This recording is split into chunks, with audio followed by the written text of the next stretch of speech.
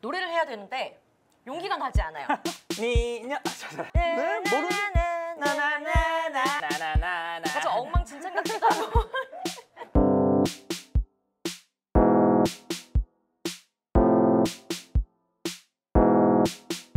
네 여러분 반갑습니다. 순위 정해주는 남매. 이름하여 순정 남매입니다. 안녕하세요 여러분. 반갑습니다.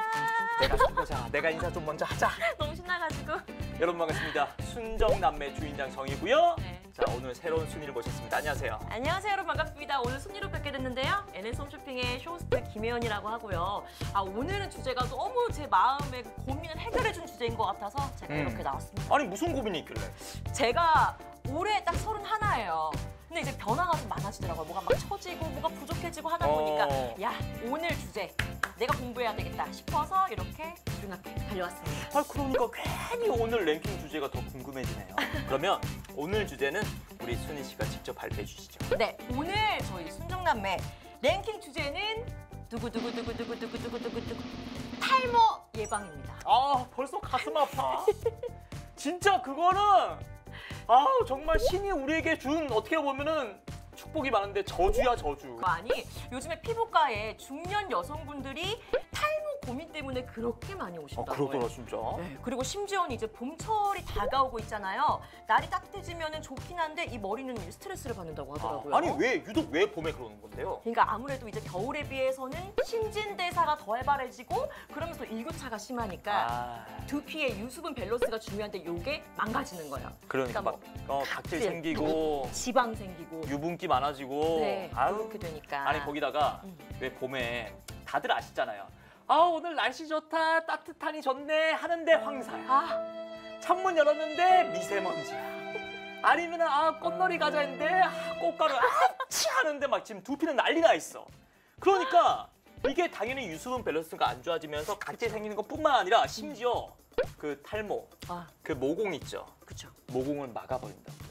그러니 탈모가 더 심해지는 거지. 이렇게. 해서 또 요즘 같은 날씨에 또 특히나 심해지니까 음. 관리를 해 주셔야 하는데 저희가 이런 분들을 위해서 사람들이 잘 모르고 지나쳤던 이 탈모 음. 원인 top 3를 저희가 데리고 왔습니다. 오늘은 진짜 간절하신 분들은 끝까지 집중해 주시죠.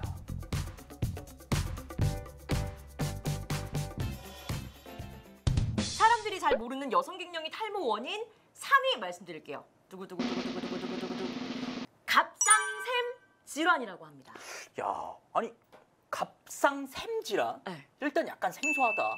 아니 근데 이 갱년기 여성 탈모가 사실 원인들이 되게 많잖아요. 그렇죠. 뭐 처자식부터 해가지고 남편이 일단 존재 자체가 스트레스잖아. 스트레스. 아 물론 사랑하지. 음. 근데 사랑을 줄 때는 뭐 1, 2밖에 안 되고 거의 8, 9가 스트레스잖아요. 그렇죠. 거기다가 뭐 두피도 자극되죠. 여기다가 사실 가족들이 똑같은 샴푸 쓰다 보면은 내 두피에 맞지 않은 그런 헤어 용품들이 쓰기 마련이거든요. 음, 샴푸. 뭐 트리트먼트, 린스부터 해가지고 이게 전부 다 복합적으로 작용해가지고 이게 휑해지는 게 바로 여성 탈모입니다. 맞아요. 봄철만 되면 체중, 뭐 살이 빠지는 건 좋은데 체중과 함께 모발도 함께 빠지시는 분들 분명 있으실 거예요. 음. 체중과 함께 모발이 함께 빠져나간다?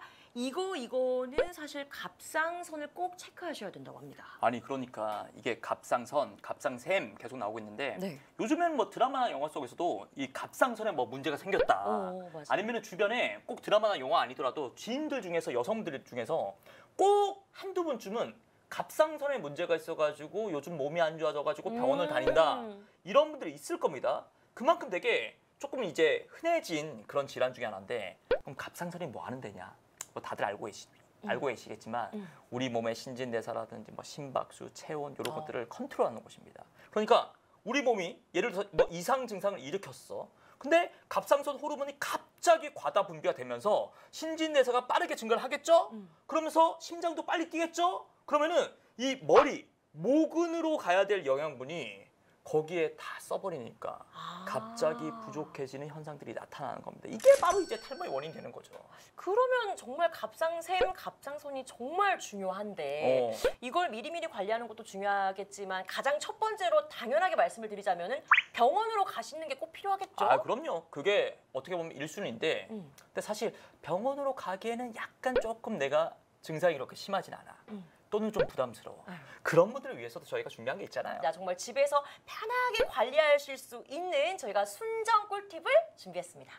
체중과 모발이 함께 빠지는 것 같다? 그럴 때는요. 요오드 영양제를 구매해서 드셔보시는 것을 저희가 추천하거든요.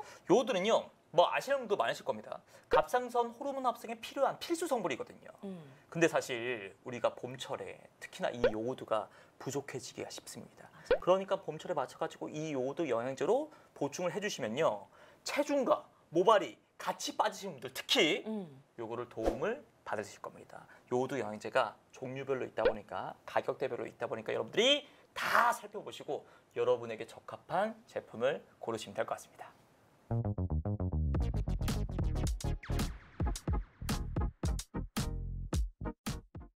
네, 사람들이 잘 모르는 여성 갱년기 탈모 원인 2위. 이건 좀 의아하실 수 있어요. 네. 비타민 A 과다 섭취.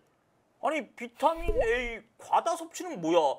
아니 비타민은 많이 먹으면 많이 먹을수록 좋은 거 아닙니까? 그럼 비타민 난 많이 먹었을 뿐인데 그 제뿐인데 머리까지 빠지면 너무 가혹한 거 아니에요? 아니 저도 사실 똑같은 생각을 했어요. 비타민은 먹을수록 좋은 거 아닌가라는 생각을 많이 하시겠지만요. 우리가 흔히 아는 비타민 C가 많이 먹어도 알아서 나머지는 소변으로 걸러지는 그런 성분이. 근데 비타민 A는 지용성 비타민이라 해가지고 많이 섭취를 했을 때 나머지는 배출되는 게 아니라 독성으로 바뀌어 버린다고 하더라고요. 어 그러면 그 독성으로 바뀐 채 우리 몸에 남아 있는 거예요? 그렇죠. 야 이거 좀 심각한데. 음. 보통 이제 우리가 40줄 넘어가면은 음. 눈이 건조해지고 침침해지고 오. 안구 영양제 많이 챙겨 드시죠. 근데 거기에 이 비타민 A가 되게 많이 들어가 있을 확률이 높습니다. 그러니까 아 뭐야 난 눈 좋아지려고 먹은 건데 그럼 눈을 포기해야 돼 아니면 머리를 포기해야 돼 이게 둘 중에 하나를 포기하기에는 너무 둘 다 치명적이잖아 그래가지고 참 이렇게 고민하시는 분들 위해 저희가 또 꿀팁 준비했죠? 그래서 저희가 또 준비한 순정남의 꿀팁. 베타카로틴 성분 아시나요? 음. 베타카로틴 성분이 들어간 안구 영양제가 있다고 합니다. 이게 또 수용성 비타민과 비슷하게 많이 섭취를 하셔도 나머지는 배출이 될 수 있는 그런 성분이래요. 아니 실제로 이 베타카로틴이 늘 모두의 염원인 그 안티에이징 음. 거기에도 도움이 된다고 하니까 어. 자 일단 탈모 억제시켜주죠 그리고 안티에이징 해주죠 그리고 안구 건강까지 걱정 없이 지켜주죠 이게 바로 일석삼조 아닙니까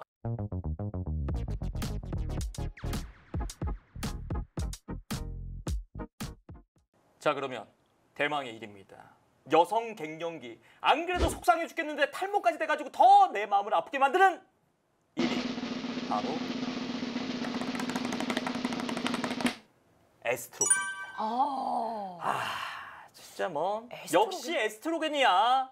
아니 사실 뭐 중년 여성분들이 이게 완경기가 될 때면은 슬슬 에스트로겐 호르몬 분비가 줄어든다는 사실을요 이미 다 알고 계실 겁니다. 아, 이게 왜 갱년기 때 조금 아, 노화가 좀 빨리 오는 것 같네, 뭐가 변화가 됐네 이런 것들의 원인 중에 하나가 에스트로겐이 줄어드는 거란 그렇죠, 말씀이시죠? 그렇죠. 근데 이게 단순히 노화뿐만 아니라 왜 그 모발의 사이클이라는 게 있거든요. 어. 그러니까 모발이 쉽게 말해가지고 새롭게 돋아나. 그리고 얘가 이렇게 튼튼해져. 그리고 쭉쭉 자라나. 그리고 어쩔 수 없이 빠질 거 아니겠습니까? 그쵸? 그럼 다시 또 돋아나고. 음. 요 사이클이 있는데 에스트로겐이 부족하다. 그러면 이 사이클도 느려진대요. 음. 근데 그나마 느려지면 다행이지. 느려지다 못해 아예 그 텀이 너무 길어가지고 이, 이, 이 모공이 막혀버린대. 그러니까 다시 나고 싶어도 못 나는 거지. 너무 무서워요. 그러니까 아, 그래가지고 에스트로겐이 정말 그야말로 우리 모공에 그리고 탈모에 중요한 역할 원인이 되는 건데 음. 이 에스트로겐 그놈의 에스트로겐을 조금 이렇게 활성화시키는 방법은 없을까? 그래서 준비한 에스트로겐을 열심히 이렇게 발생되게끔 만드는 음식이 있죠? 바로 여기서 순정 팁 나갑니다. 노래를 해야 되는데 용기가 나지 않아요. 이런 노래 다들 아십니다. 네, 모르는 나나나나나 나나. 나나나나나나나나나나나 약간 좀 엉망진창 같기도 하고. 야 이준기 참 젊었다 젊었어. 꽃미남 꽃미남. 왜 그때잖아 한창 왕의 남자. 어머. 너 여기 있고 나 저기 있지. 야 이때 이준기 막 그냥 리즈였거든. 그렇게 열풍을 일으켰던 뭐를 좋아해? 성류. 석류. 너무. 그러니까 에스트로겐을 활성화시킬 수 있는 음식이 바로 석류라는 거죠. 그래서 여러분들께 추천드리는 건 바로 매일 아침에 석류 콜라겐 한 포로 두피 건강 지키시고 또 노화 억제 도움 받아 보시면 너무너무 좋을 것 같아서 저희가 또 이렇게 같이 준비를 했습니다.